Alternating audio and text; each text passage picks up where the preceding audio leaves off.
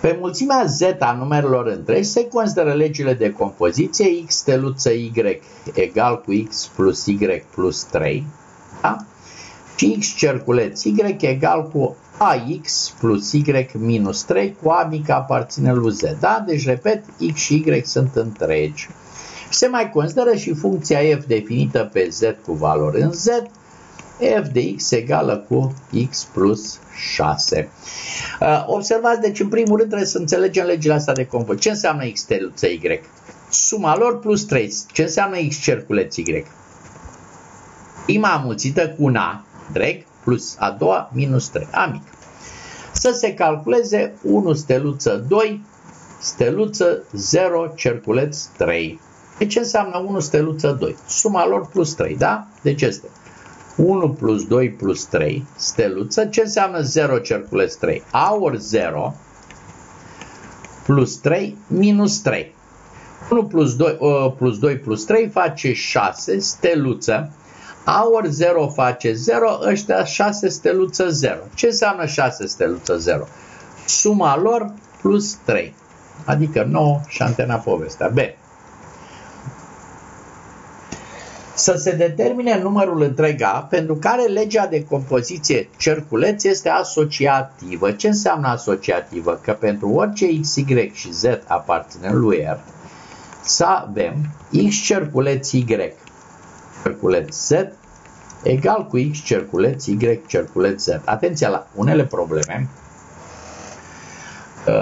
am, mai, am făcut o șmecherie cu comutativitatea și reduceam asociativitatea la prima. La mine acum, iată, de data asta nu mai ține. Pentru că legea asta, dacă au este diferit de 1, nu mai e comutativă. Deci va trebui să calculăm X cerculeț Y, cerculeț Z pentru fiecare. Îl notez cu T, vine T cerculeț Z. Adică ce înseamnă? A ori T plus Z minus 3. Adică A ori. Dar T-ul este X compus cu Y, adică ax plus y minus 3 și copiem și pe ăștia la alții 2 plus z minus 3. Deci egal cu a pătrat x plus ay minus 3a plus z minus 3. Îl facem și pe al doilea. x cerculeț, y cerculeț z egal. Notez cu un t, îmi dă x cerculeț t. Adică este ax plus t minus 3 adică AX plus. Dar cine e T? Y cerculeț Z, adică AY plus Z minus 3 și încă un minus 3. Deci egal cu AX plus AY plus Z minus 6. Și asta trebuie să fie egal. Hai să le egalăm. Deci, obținem. A pătrat X plus AY minus 3A plus Z minus 3 egal cu AX plus AY plus z minus 6. Z-ul cu Z-ul se duc. Ia, AY-ul cu AY-ul se duc. Ce mai rămâne? A pătrat X minus 3A minus AX minus 3 plus 6 plus 3 egal cu 0. Asta trebuie să aibă loc pentru orice X real. Și acum uitați cum îl determin pe A. Nu stau să fac identificări de polinoame sau alte minuni. Păi pur și simplu îi dau lui X o valoare și zic, bă, pentru X egal cu 0. De ce? Ca să-mi dispară ăștia. Ia uitați ce îmi rezultă. Minus 3A plus 3 egal cu 0. Cât este A? Au 1. Atenție, e bine? Nu știu. De ce nu știu? Pentru că eu l-am obținut pe A numai pentru X egal cu 0, ori am pentru X egal cu aparținul lui R. Păi vin cu A-ul ăsta și introduc aici. Dacă îmi va verifica pentru orice X, clar, E adevărat. Dacă un singur X nu va verifica, înseamnă că A ăsta nu este bun. Da? Dar observați, n-am mai stat să identific. Pentru că e complicat. Repet, ca metodă alternativă. Puteți să faceți așa, A pătrat minus A totul ori X plus 3 minus 3A egal cu 0 și să apelați la polinome. Să ziceți când un polinom este identic nul pentru orice X. Așa, ăsta 0, ăsta 0, căutam rădăcini comune și așa mai departe. Se vede că e egal cu 1, dar trebuia să lucrăm. Scoatem de aici rădăcine 0, 1, aici 1, care e rădăcina comună? Munceam, nu. Păi dacă aveți o relație pentru orice X și vă trebuie un parametru, scoateți printr-o valoare particulară parametrul respectiv și îl înlocuiți. Deci iată, dacă înlocuiesc pe egal cu 1 aici, cât îmi rămâne? X minus 3 minus x plus 3 egal cu 0.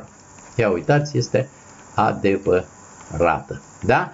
Prin urmare, A egal cu 1. Și cu asta, pardon, A egal cu 1 și cu asta am terminat uh, și punctul B. Punctul C, ia să vedem, zice, pentru A egal cu 1, să se arate că F este morfism între grupurile Z cu steluță, cred, și oare Z cu cerculeț, ia, și Z cu cerculeț. Pentru A egal cu 1. Păi, hai să iau legile, încă o dată de aici o să le iau, da, să le pun aici. Observați că legea mea, ce se întâmplă? Asta pentru A egal cu 1, da? Am pus 1 aici, da? Este asta, iar f de x era x plus 6, da? Pardon. x plus 6. Ce înseamnă un morfism de grupuri? Nu mi-a zis izomorfism, dar un morfism. Înseamnă că f de x steluță y să se ducă în legea a doua aplicată f-ilor, în f de x cerculeț f de y. Adică ce înseamnă f de x steluță y? f de x plus y plus 3 să arătă f de x cerculeț f de y, ce înseamnă? Uh, este f de x plus f de y minus 3. Da? Dar f cine este? F de ceva e ceva plus 6. Deci vine x plus y plus 3 plus 6 egal cu ceva plus 6, adică x plus 6, plus ceva plus 6, adică y plus 6, minus 3. Ia, x cu x, y cu y, cu ce rămâne? 9 egal cu 12 minus 3, 9 egal cu 9. Adevărat. Și cu asta am terminat și punctul uh, C.